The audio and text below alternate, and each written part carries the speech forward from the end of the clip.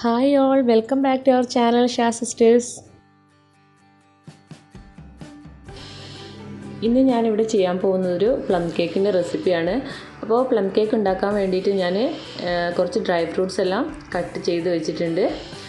ഞാനിവിടെ രണ്ട് കളറിൽ ഉള്ള റൈസിൻസ് എടുത്തിട്ടുണ്ട്. പിന്നെ tutti frutti kiwi dry ginger പിന്നെ ഡ്രൈ ആയിട്ടുള്ള സ്ട്രോബെറി എടുത്തിട്ടുണ്ട് ചെറി പിന്നെ ബ്ലാക്ക്ബെറി കുറച്ച് കാരക്ക. പിന്നെ നട്ട്സ് എടുത്തിട്ടുണ്ട്. അത് ഞാൻ ഇപ്പോൾ ഇതിൽ ചേർക്കുന്നില്ല. സോക്ക് ചെയ്യുന്ന അതിൽ ചേർക്കുന്നില്ല. അത് നമ്മൾ കേക്ക് ഉണ്ടാക്കുന്ന ആ ഒരു സമയത്താണ് ചേർക്കാൻ പോകുന്നത്. ഈ ഡ്രൈ ഫ്രൂട്ട്സ് എല്ലാം കൂടെ കട്ട് ചെയ്ത് വെച്ച് കാണാൻ തന്നെ നല്ലൊരു ഭംഗിയുണ്ട് കേട്ടോ മുന്തിരി ജ്യൂസ് ഉപയോഗിച്ചിട്ടാണ് കേട്ടോ ഞാനിവിടെ ഡ്രൈ ഫ്രൂട്ട്സ് എല്ലാം സോക്ക് ചെയ്ത് വെക്കുന്നത്. അപ്പോൾ നമുക്ക് ഇതെങ്ങനെയാണ് സോക്ക് ചെയ്യുന്നതെന്ന് കാണാം. അതിനായിട്ട് ഞാൻ ഇവിടെ ഒന്നര കപ്പ് മുന്തിരി എടുത്തിട്ടുണ്ട് കറുത്ത മുന്തിരി. നമ്മൾ ജ്യൂസെല്ലാം അടിക്കുന്ന മുന്തിരി.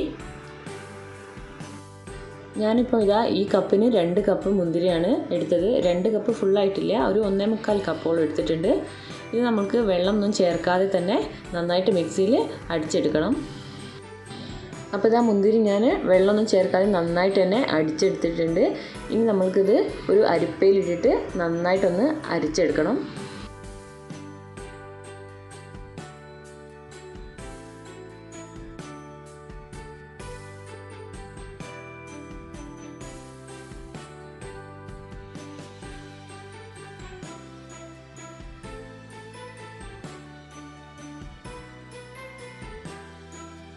അപ്പോൾ ഇതാ നമ്മുടെ മുന്തിരി ജ്യൂസ് ഇവിടെ റെഡി ആയി വന്നിട്ടുണ്ട്. അതിലേക്ക് ഞാൻ കാൽ കപ്പ് പഞ്ചസാര ചേർത്ത് കൊടുക്കുന്നുണ്ട്.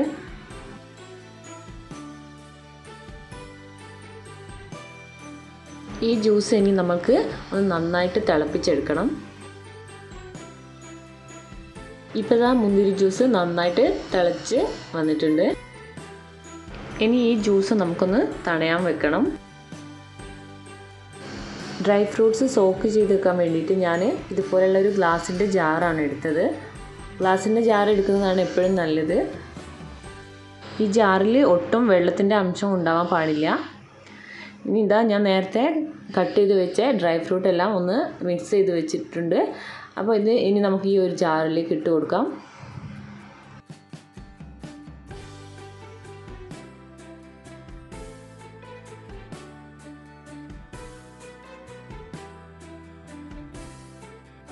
ഇപ്പോൾ ഇതാ മുഴുവൻ ഡ്രൈ ഫ്രൂട്ട്സും ഞാൻ ഈ ജാറിലേക്ക് ഇട്ട് കൊടുത്തിട്ടുണ്ട്. ഇനി ഇതിന്റെ അടുപ്പ് അടിച്ച് വെച്ചിട്ട് നന്നായിട്ടൊന്ന് ഷേക്ക് ചെയ്ത് കൊടുക്കാം. എല്ലാ ഫ്രൂട്ട്സും കൂടെ ഒന്ന് മിക്സ് ആയി കിട്ടാൻ വേണ്ടിയിട്ടാണ് ഇങ്ങനെ ചെയ്യുന്നത്.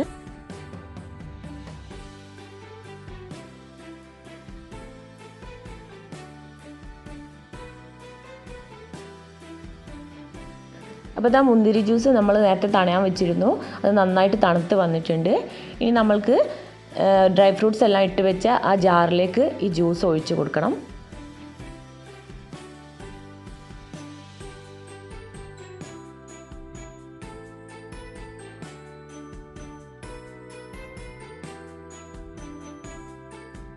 ഇപ്പോൾ ഇതാ മുഴുവൻ ജ്യൂസും ഞാൻ ഡ്രൈ ഫ്രൂട്ട്സിന്റെ മേലെ ഒഴിച്ച് കൊടുത്തിട്ടുണ്ട്.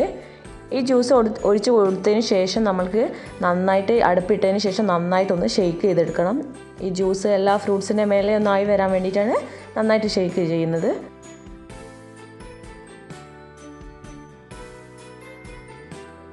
ഇപ്പോൾ അത് നമ്മൾ നന്നായിട്ട് മിക്സ് ആക്കി കൊടുത്തതുകൊണ്ട് മുന്തിരി ജ്യൂസും ഡ്രൈ ഫ്രൂട്ട്സും നല്ല മിക്സായി വന്നിട്ടുണ്ട്. ഇതിനി നമ്മൾക്ക് ഒരാഴ്ച ഫ്രിഡ്ജിൽ വെച്ചിട്ട് വേണം കേക്ക് ഉണ്ടാക്കാൻ വേണ്ടിയിട്ട് എടുക്കാൻ ഇതിനി തുറന്ന് നോക്കേണ്ട ആവശ്യമൊന്നും വരുന്നില്ല. ഒരാഴ്ച കഴിഞ്ഞതിന് ശേഷം നമ്മൾ ഇത് കേക്ക് ഉണ്ടാക്കുന്ന സമയത്ത് തുറന്ന് നോക്കിയാൽ മതി. ഇപ്പോൾ ഒരാഴ്ചക്ക് ശേഷമാണ് കേട്ടോ ഞാൻ ഈ ഡ്രൈ ഫ്രൂട്ട് ഫ്രിഡ്ജിൽ നിന്ന് എടുത്തത്. അപ്പോൾ നമ്മുടെ ഡ്രൈ ഫ്രൂട്ട്സ് നന്നായിട്ട് സോക്കായി വന്നിട്ടുണ്ട്. ഈ ജാറ് തുറക്കുമ്പോൾ തന്നെ നല്ലൊരു സ്മെല്ലാണ് കേട്ടോ നല്ല അടിപൊളി ടേസ്റ്റുള്ളൊരു സ്മെല്ല് നമുക്ക് ഫീൽ ചെയ്യുന്നുണ്ട്. ഇനി കേക്ക് ഉണ്ടാക്കാൻ വേണ്ടിയിട്ട് ഞാൻ പഞ്ചസാര ഒന്ന് കാരമൽ ചെയ്തെടുക്കുകയാണ് അതിന് വേണ്ടിയിട്ട് ഞാൻ ഒരു ചുവട് കട്ടിയുള്ള പാത്രമാണ് കേട്ടോ വെച്ചത്. അപ്പോൾ അതിലേക്ക് കാൽ കപ്പ് പഞ്ചസാര ചേർത്ത് കൊടുത്തിട്ടുണ്ട്. അപ്പോൾ അതൊന്ന് മെൽറ്റായി വരട്ടെ.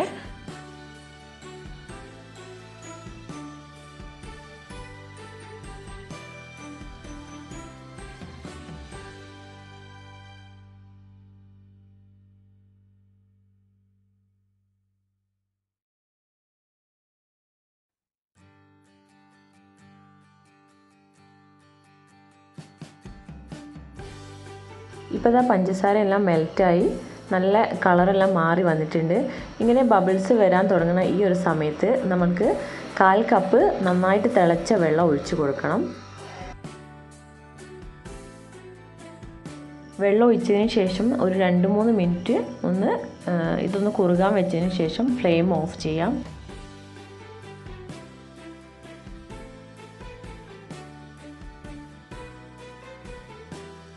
ഈ ഒരു പരിവാകുമ്പോൾ നമുക്ക് ഫ്ലെയിം ഓഫ് ചെയ്യാം.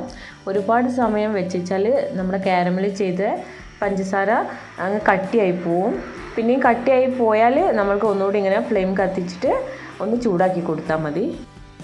ഇനി നമ്മൾക്ക് കേക്കിലേക്ക് വേണ്ട പഞ്ചസാര ഒന്ന് പൊടിച്ചെടുക്കാം. ഞാൻ അരക്കപ്പ് പഞ്ചസാരയാണ് കേട്ടോ എടുത്തത്. അതിലേക്ക് രണ്ട് ഏലക്കായും ഒരു ഗ്രാമ്പും വെച്ചിട്ടുണ്ട്. ഇത് പഞ്ചസാരയുടെ കൂടെ തന്നെ പൊടിച്ചെടുക്കുകയാണെങ്കിൽ നമുക്ക് പെട്ടെന്ന് തന്നെ പൊടിച്ചെടുക്കാൻ പറ്റും. പിന്നെ ജാതിക്ക കാൽ ടീസ്പൂൺ ജാതിക്കയാണ് ഞാൻ എടുക്കുന്നത്. അതൊന്ന് ഞാൻ ഗ്രേറ്റ് ചെയ്തെടുക്കുകയാണ്. ഞാനിപ്പോൾ അരക്കപ്പ് പഞ്ചസാര എടുത്തത് നേരത്തെ കാരമൽ ചെയ്യാൻ വേണ്ടിയിട്ട് കാൽ കപ്പ് പഞ്ചസാര എടുത്തിരുന്നു. അതുകൊണ്ടാണ് ഇപ്പോൾ അരക്കപ്പ് പഞ്ചസാര എടുത്തത്. മധുരം കൂടുതൽ വേണ്ടവർക്ക് കൂടുതൽ പഞ്ചസാര ഉപയോഗിക്കാം കേട്ടോ. ഇനി ഇതാ ഇതിലേക്ക് തന്നെ കാൽ ടീസ്പൂൺ പട്ട പൊടിച്ചതാണ് ചേർക്കുന്നത്. ഇനി നമുക്ക് പഞ്ചസാരയും ഏലക്കായും ഗ്രാമ്പൂടെ ഒന്ന് പൊടിച്ചെടുക്കാം. ഞാൻ ഇവിടെ ഒരു കപ്പ് മൈദയാണ് എടുത്തത്. നാല് എഗ്ഗ് വെച്ചിട്ടാണ് ഞാനിപ്പോൾ കേക്ക് ഉണ്ടാക്കാൻ പോകുന്നത്. ഇതിലേക്ക് ഇനി ഒരു ടീസ്പൂൺ ബേക്കിംഗ് പൗഡറും അര ടീസ്പൂൺ ബേക്കിംഗ് സോഡയും ചേർത്തിട്ട് ഒന്ന് രണ്ട് മൂന്ന് പ്രാവശ്യമായിട്ട് ഒന്ന് സ്ട്രെയിൻ ചെയ്തെടുക്കാം.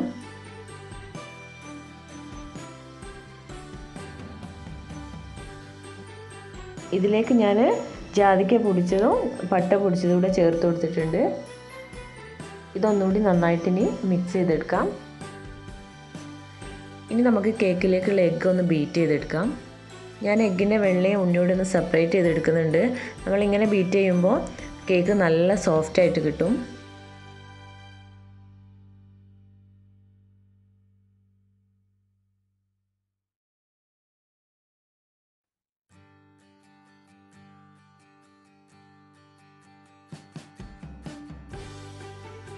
കിട്ടും ഇതാ എഗ്ഗിന്റെ വൈറ്റാണ് ഞാൻ ബീറ്റ് ചെയ്തെടുക്കുന്നത്.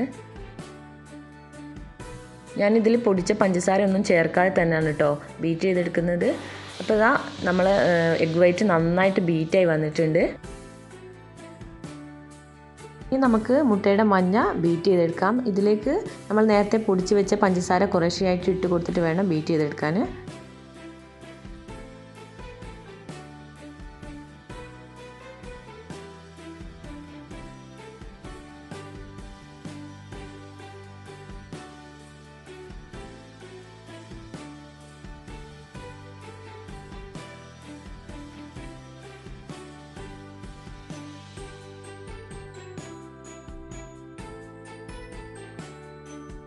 ഇപ്പോൾ ഇതാ പഞ്ചസാര തന്നെ മുഴുവനായിട്ട് ഇട്ട് ബീറ്റ് ചെയ്ത് കഴിഞ്ഞപ്പോഴേക്ക് നല്ലൊരു ക്രീം പരുവത്തിലായിട്ടുണ്ട്. ഇനി ഇതിലേക്ക് ഒരു ടീസ്പൂൺ വാനില എസൻസ് ചേർത്ത് കൊടുക്കാം.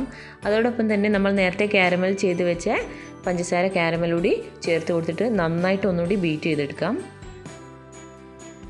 ഈ കാരമൽ ചെയ്ത പഞ്ചസാര ചേർക്കുമ്പോൾ തന്നെ നമ്മുടെ കേക്കിന്റെ ബാറ്റർ നല്ലൊരു കളറായി വരും കേട്ടോ ഇനി ഇതിലേക്ക് കാൽ കപ്പ് സൺഫ്ലവർ ഓയിലാണ് ചേർക്കുന്നത്.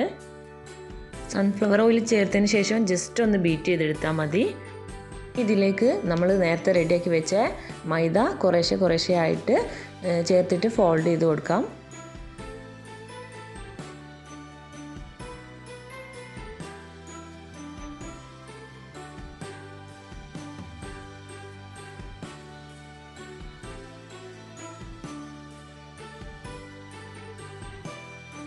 ഇനി നമുക്ക് നമ്മുടെ കേക്കിന്റെ മെയിൻ ഇൻഗ്രീഡിയൻസ് ആയ ഡ്രൈ ഫ്രൂട്ട്സ് ചേർത്ത് കൊടുക്കാം. ഇത് ഞാൻ ഫ്രിഡ്ജിൽ നിന്ന് നേരത്തെ തന്നെ പുറത്തെടുത്ത് വെച്ചതിന് ശേഷം ഇതിന്റെ തണുപ്പൊക്കെ പോയതിന് ശേഷമാണ് കേട്ടോ ബാറ്ററിയിലേക്ക് ചേർത്ത് കൊടുക്കുന്നത്. ഇനി ഇതിലേക്ക് കാൽ കപ്പ് നട്ട്സ് കൂടെ ചേർത്ത് കൊടുക്കാം. നട്ട്സ് ഞാൻ സോക്ക് ചെയ്യുന്നതിൽ ചേർത്തിട്ടില്ലായിരുന്നു.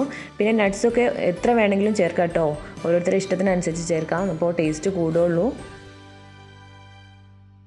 ഇനി നമുക്ക് എഗ് വൈറ്റ് കൂടെയാണ് ചേർത്ത് കൊടുക്കാനുള്ളത്. അപ്പോൾ എഗ് വൈറ്റ് കൂടെ നമുക്ക് കുറേശ്ശെ കുറേശ്ശെ ആയിട്ട് ഇതിലേക്ക് ചേർത്തിട്ട് ഫോൾഡ് ചെയ്ത് കൊടുക്കാം.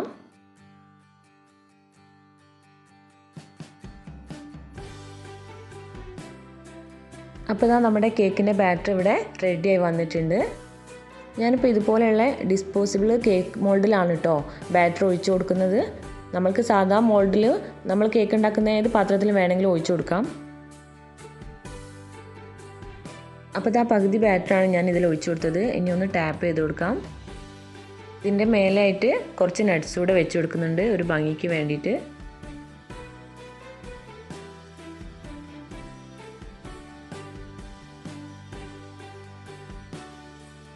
അപ്പോൾ അതാ ഞാൻ കേക്ക് ഈ ഒരു പാത്രത്തിലേക്ക് ഇറക്കി വെച്ചിട്ടാണ് കേട്ടോ ബേക്ക് ചെയ്യുന്നത്. ഇത് ഞാൻ നേരത്തെ പത്ത് മിനിറ്റ് പ്രീഹീറ്റ് ചെയ്യാൻ വെച്ചിരുന്നു. അപ്പോൾ ഇതാ ബാക്കിയുള്ള ബാറ്ററി ഞാൻ ഈ ഒരു മോൾഡിലൂടെ ഒഴിച്ചു കൊടുത്തിട്ടുണ്ട്.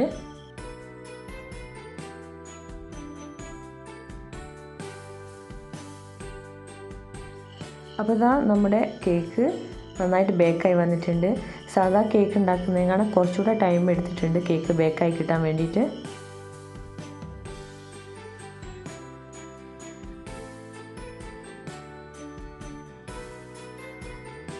കേക്ക് നല്ല സോഫ്റ്റ് ആയിട്ട് തന്നെ വന്നിട്ടുണ്ട്.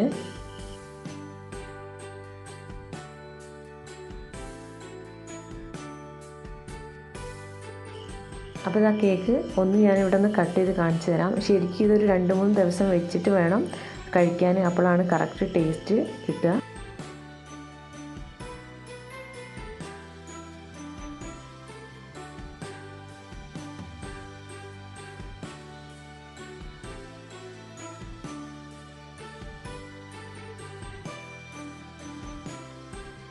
അപ്പോൾ എല്ലാവരും ഈ പ്ലം കേക്ക് ഒന്ന് ഉണ്ടാക്കി നോക്കുക. നല്ല ടേസ്റ്റുള്ള ഒരു കേക്കാണ് എല്ലാവർക്കും ഇഷ്ടപ്പെടും. വീഡിയോ ഇഷ്ടപ്പെട്ടെങ്കിൽ ലൈക്ക് ചെയ്യാനും ഷെയർ ചെയ്യാനും കമന്റ് ചെയ്യാനും മറക്കരുത്. Okay thank